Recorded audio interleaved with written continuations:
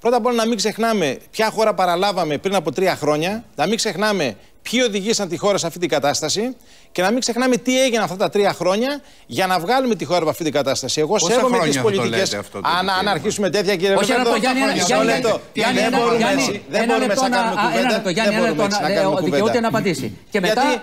Καταλαβαίνω ένας να μιλάει και Ελάτε. πέντε, και Ελάτε, πέντε ελάτε. μετά θα α, λένε κάτι διαφορετικό. Έτσι, να το κόστος μπορέσουμε λοιπόν. κυβέρνησης, έτσι είναι. Συμφωνώ, αλλά να Έτσι υπάρχει είναι. ισοτιμία. Τον οικονόμο τον έσκυζες να όταν υπάρχει ήτανε. ισοτιμία Ναι. πολιτική. Πάμε. Ελάτε. Εγώ δεν διακόπτω κανένα, δεν θέλω να Πάμε, διακοπώ. πάμε, πάμε, πάμε, Η πάμε. γενική παρατήρηση λοιπόν είναι ότι προσπαθούμε Ναι. σε μια δύσκολη περίοδο και κάνουμε κατά τη γνώμη μας το καλύτερο δυνατό, με λάθη, με καθυστερήσει, με αυταπάτες. Θα τα πούμε εμείς για να μην τα πούν κάποιοι άλλοι. Αλλά βγάζουμε τη χώρα από μια περίοδο που την παραλάβαμε. Και πρέπει αυτοί που την οδηγήσαν εδώ κάποια στιγμή να μας πούνε η κριτική τους ποια είναι. Να κάναμε κάτι διαφορετικό, να κατατεθεί αυτό. Στο ασφαλιστικό, στο φορολογικό, σε οτιδήποτε άλλο. Στο θέμα τώρα το ληξιπρόθεσμο που είπατε. Τα ληξιπρόθεσμα αυξανόταν πάντα. Να σας θυμίσω ότι όταν ακούστηκε εκείνη η περίφημη φράση Λεφτά υπάρχουν, τα ληξιπρόθεσμα ήταν περίπου στα 30 δις. Έτσι. Τότε, Και τώρα το είναι 2009. 101, ναι, έτσι. Και τώρα αυξάνονται γιατί πάντα αυξάνονται τα ληξιπρόθεσμα και ιδιαίτερα Τα το 2000. παραλάβατε στα 90 δις, αν δεν κάνω λάθος. Όχι, όχι, ήταν, ήταν πολύ πιο, ήταν Στα- πιο κάτω. Πιο κάτω ήταν, στα 70. πόσα; Το 2014. Στα πόσα ήτανε; Στα 70. Ε, Μην 70. μπερδεύεστε. Μισό Και- λεπτό. και πήγανε πρέπει, το 101. Υπουργείο Οικονομικών, πρέπει το Υπουργείο Οικονομικών να βγάλει αναλυτικά στοιχεία, δεν είναι δική μου δουλειά, που να αποδείξει για κάθε χρονιά που ήταν και το τι έγινε. Διότι να θυμίσουμε, για αυτούς οι οποίοι τώρα κλαίγονται και φωνάζουν για τα ληξιπρόθεσμα, δεν λέγαν τίποτα το 2014 όταν τα αυξανόταν κατά 1,5 και κατά 1,7 δις ανά μήνα. Το 15 και το 16 και το 17 αυτή η αυξητική πορεία μειώθηκε. Αλλά βεβαίως τα ληξιπρόθεσμα αυξάνονται γιατί, διότι έμα- πήραμε μια χώρα σε χρεοκοπία. Τώρα, τι- Βάλατε και φόρους τι όμως, κάναμε έτσι; όμως; Βάλατε Βάλαμε και φόρους. Κάνατε και περικοπές. Βεβαίως, Και το ξέρεις πολύ διότι καλά γιατί είσαι αναγκαστήκαμε άνθρωπος- μέσα από μια διαπραγμάτευση Μάλιστα. να κάνουμε αυτά. Αλλά στο θέμα Λοιπόν. των ληξιπροθέσμων, επειδή ακούμε για τα 100 δις, θα θυμίσουμε ότι κάναμε και φέραμε και τον νόμο Σταθάκη, Παύλα Κατσέλη και έσωσε κόσμο να θυμίσουμε τον εξοδικαστικό συμβιβασμό, να θυμίσουμε Θα πάμε μετά Σταθάκη αμέσως. Κατσέλη Θα εξοδικ- πάμε- και θα μια πάμε σειρά αμέσως από γιατί υπάρχει μια παρεμβάσεις. εξέλιξη. Να μην Σοβαρά. βλέπουμε λοιπόν, Λοιπόν, μόνο το ένα, να θα- βλέπουμε και το τι έχει θα κάνει πάμε. αυτή η κυβέρνηση, Θα πάμε. η οποία αυτή η κυβέρνηση προστατεύει τις περιουσίες και τις λαϊκές κατοικίες Θα το από δούμε. τέτοιες Θα ρυθμίσεις. φωνάξω ο Στρατόλης τώρα. Πάω γρήγορα στη Φωνές δεν Γαλινό. χρειάζονται, προτάσεις χρειάζονται. Πάμε, μπράβο. Προτάσεις λοιπόν, χρειάζονται πάμε για το στην τι πρέπει να Καλυμνό. κάνουμε. Πάμε στο... Δεν υπάρχει κύριε Αυτιά. Εγώ θέλω Ελάτε. να κάνω ένα σχόλιο. Δεν κύριε υπάρχει Αυτιά. κύριε Αυτιά Ναι. πώληση δανείου στεγαστικού Ναι. σε φαντς Ναι. χωρίς να ειδοποιηθεί ο δανειολήπτης. Σαφέστατα. Υποχρέωση νόμου Νόμοι- είναι αυτό. Μισό λεπτό. Νόμοι Αυτό 43, το λέει ο νόμος. Νόμοι 43, 54 και 43, 89 του 2016, σαφέστατα. Δεν είμαι νομικός, οικονομολόγος είμαι, αλλά τυχαίνει να το ξέρω το θέμα. Είναι υποχρεωμένη η τράπεζα Είναι υποχρεωμένη να να ρωτήσει, ειδοποιήσει. ο Αστόπη Υπάρχει και ο ο κύριος κώδικας, Αντωνίου και καλή του ώρα. ο κώδικας Ο δεοντολογίας Βαγγέλας. τραπεζών. Και αν πει Ναι. όχι ο Πρέπει- δανειολήπτης, μισό δεν λεπτό, μπορεί. Μισό λεπτό. Ούτε αυτό Πρέπει. είναι.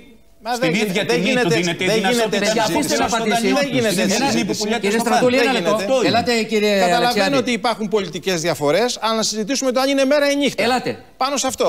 Υπάρχει λοιπόν νομικό πλαίσιο, υπάρχει ο κώδικας διοντολογίας τραπεζών. Πρέπει η τράπεζα να ενημερώσει και πρέπει να προτείνει ρύθμιση. Αν μου προτείνει εμένα για το στεγαστικό που έχω στεγαστικό, ότι έλα εδώ, σου προτείνω το στεγαστικό σου να το ρυθμίσουμε με αυτόν τον τρόπο. Και εγώ αντιπροτείνω. Ναι. Και πω από το υπόλοιπο που έχω των 60.000, εγώ θέλω να πληρώσω 40.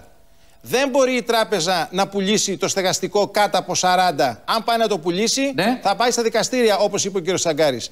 Άλλο λοιπόν το αν έχουμε πολιτικές διαφωνίες. Εμείς έχουμε κάνει ό,τι είναι δυνατόν στα πλαίσια της διαπραγμάτευσης Κύριε Αυτιά. και στα πλαίσια να κρατήσουμε τη χώρα στην Ευρωπαϊκή Ένωση. Και αυτή τη στιγμή ούτε πρώτη κατοικία, ούτε λαϊκή κατοικία βγαίνει σε πληστηριασμό. Δεν θα αφήσουμε εμείς οποιονδήποτε άλλον Δεν λέτε να αλήθεια. πουλήσει. Μόνο Δεν ένα λέτε σχόλιο. αλήθεια. Να Μόνο μας ένα πείτε σχόλιο. μία Κάθε- περίπτωση. Να μας πείτε μία Την περίπτωση, κύριε προηγούμενη Στρατούλη, Τετάρτη.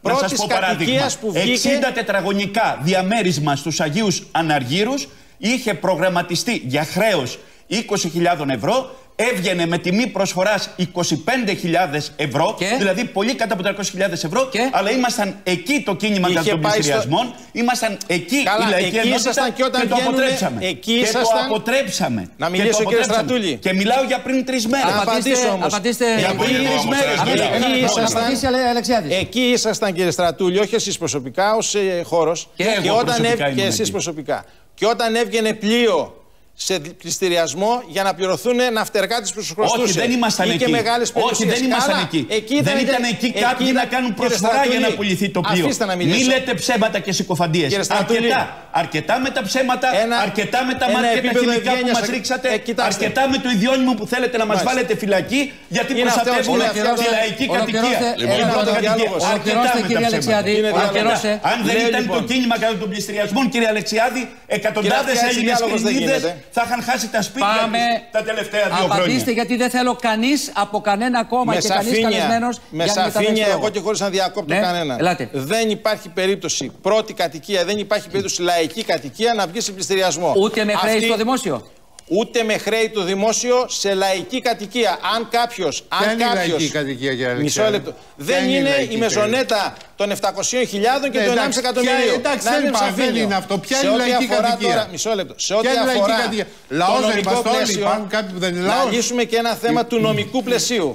Το ίδιο πλε- νομικό πλαίσιο για τα χρέη προς το δημόσιο Ναι, ναι. ίσχυε και όταν τα στελέχη της ΛΑΕ ήταν στην κυβέρνηση το 2015, το ίδιο ισχύει και τώρα. Ερώτημα. Δεν άλλαξε κάτι. Όχι, γιατί κάποιοι άλλαξε. έχουν Χειροτερεύσατε ευαισθησίες τον τώρα. νόμο Κατσέλη. Τον Μα τι χειροτερεύσατε λέτε, με τον νόμο κύριε Στρατούλη, Σταθάκη. Μπορεί να Βάλατε το πιο λέω. ψηλά Το δημόσιο δεν εισοδηματικά ισχύει. και Δεν περιουσιακά ισχύει, κύριε κριτήρια. Στρατούλη. Μα τι Τελειώνω με λέτε. μία φράση, κύριε Αυτιά. Ελάτε. Σε ό,τι αφορά το θέμα αυτό, εμείς δεν υπάρχει περίπτωση να αφήσουμε πρώτη ή λαϊκή κατοικία να οδηγηθεί εκεί. Αλλά εδώ δεν έχουμε μια υποσχεσιολογία από την κυβέρνηση. Εδώ έχουμε μια υποσχεσιολογία, υποσχέσεις συνεχώς καταστροφών. Θα έρθει το ένα, θα έρθει το άλλο, θα έρθει Ναι, το αλλά άλλο. την Τετάρτη, Πουθενά την δεν ακούμε. Τετάρτη οι, οι, οι δανειστές, και αυτό είναι στα α, προαπαιτούμενα, τα ξέρετε πολύ καλά, λένε 500 και ένα ευρώ για χρέη στο δημόσιο, ηλεκτρονικός πληστηριασμός. Πώς θα το χειριστείτε; Θα έχει Εγώ εξηγεί... ρωτώ. Να σας πω ότι από 500 και πάνω ξεκινούν τα αναγκαστικά μέτρα εκτέλεσης. Ισχύει από τη δεκαετία του 70. δεν το Κατάσχεση νομοθετήσαμε. δηλαδή, έτσι. το... Βεβαίως τα αναγκαστικά μέτρα εκτέλεσης. Αλλά εμείς το έχει εξηγήσει και ο κύριος Κοντονής και Ναι. ο κύριος Ζανακόπουλο με πλήρη επάρκεια. Δεν υπάρχει περίπτωση να αφήσουμε όλη αυτή την ιστορία να στραφεί σε λαϊκές κατοικίες ή στην πρώτη κατοικία. Εμείς θα είμαστε οι πρώτοι που θα αντιδράσουμε. Δεν έχουμε κατορθώσει ακόμα να ολοκληρώσουμε το θεσμικό πλαίσιο. Άρα αλλά λέει και με τον ψέματα ο νόμο, Στρατούλης και με με τον αυτά νόμο που λέει. Λέει Σταθάκη, ψέματα. Ένας από τους δυο λέει ψέματα και πάντως, στο κύριε- θέμα της, ε, του κύριε εξοδικαστικού Μεταξιάδη, μηχανισμού. ή εσείς ή ο Στρατούλης. Θα μου δώσετε Ένα λόγο, από τους κύριε δυο Αυτιά. μας δεν Μετά το διακόπτει, διάλειμμα. κύριε Λοβέρδο. Δεν Μα διακόπτει. Δεν ένας μπορείτε από να τους δυο λέτε μας. όμως κάτι, Σας- γιατί θα δεν λέω με ότι θέλω διακόπτω. δημοκρατία. Μπορείτε να λέτε ό,τι θέλετε και κανεί να μην σα διακόπτει. Καταλαβαίνω ότι έτσι θέλετε να λειτουργείτε, εγώ δεν λειτουργώ έτσι. Αφού έδωσα Πέστε μου στοιχεία. ποιος από τους δυο λέει ψέματα. Εγώ Μα μιλάω. είπα στοιχεία συγκεκριμένα. Έτσι δεν μπορούμε να Πέστε Όσα μου λέει ψέματα τετραγωνικά. ο Στρατούλης για αυτό το, Όχι, το όχι. Λαϊκός σπίτι της Εγώ Τραγιούς σε Αερολίνης. ανάκριση Λέει δεν ναι μπαίνω. ή όχι. Σε ανάκριση δεν μπαίνω. Για Λοιπόν, Σα πες- παρακαλώ Εντάξει, πολύ εντάξει, να τελειώσω εντάξει. τη φράση. Ναι, μου. ναι, θέλετε να πάρετε την εξουσία και να γίνετε καθεστώ. Για, για να μας καταργήσετε όλους μας. Όπως είπε η Λοιπόν. κυρία Μπαζιάννα. Σας ευχαριστώ πολύ κύριε Αλεξιάδη. Με- 9 και με- 28 με- πρώτα Αντίθεστε, λεπτά. Δεν Εγώ θέλετε τελειώνω να με- απαντάτε σε ερωτήματα. Εγώ Το τελειώνω κατάλαβα. με μία Το φράση. κατάλαβα, δεν Ναι. θέλετε να απαντάτε. Ηρεμήστε, Δεν κύριε θέλετε να Λοβέρδο, απαντάτε. ηρεμήστε, δεν χρειάζεται. Ελάτε, Όχι, παιδιά. δεν ηρεμώ. Όταν βγαίνουν οι άνθρωποι χάνουν τα σπίτια τους και με κοροϊδεύετε από Θα πάνω. πάτε κι εσείς μαζί τους να κάνει συλλογικότητες, να τους Όχι, δεν προβάλλετε κάνω και να εγώ. κάνετε Εσείς, κινητοποιήσει. εσείς υποστηρίζετε τον Ρουβίκονα. Εσείς υποστηρίζετε Σε τον ό,τι Ρουβίκονα. αφορά, Εσείς το πηγαίνετε σε με ό,τι τα Θεοδωράκη, αφορά ψήφια, το όχι θέμα εγώ. των καταστροφών, Ναι, ναι. οι υποσχέσεις καταστροφολογίας δεν θα επιβεβαιωθούν. Τα νούμερα στην οικονομία δείχνουν ότι πάμε καλά. Δεν είμαστε σε παράδεισο, αλλά θα καταφέρουμε μέσα στο 18 να αλλάξουμε σελίδα και να πάμε τη χώρα Λοιπόν, στην επόμενη μέρα. εννέα